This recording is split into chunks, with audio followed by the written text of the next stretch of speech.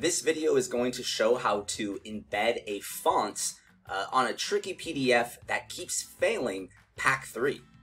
So the first thing I'm going to do is launch my PAC 3 tool, and then I have my PDF that I'm going to drag into it, and it shows that we have a font error.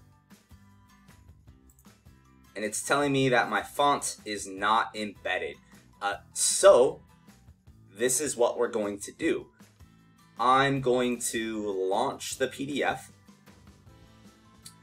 And then I'm going to go into my pre-flight mode. This can be found uh, a couple of different ways. Uh, for now, I'm going to go into my More Tools, and under Protect and Standardize, I'm going to select Add under Print Production. Then I'm going to select the Print Production, uh, and this is where I can go into my pre-flight menu.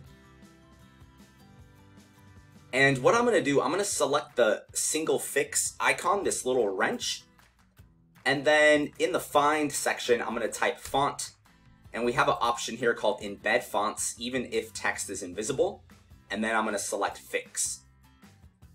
This is then going to prompt me to save the file.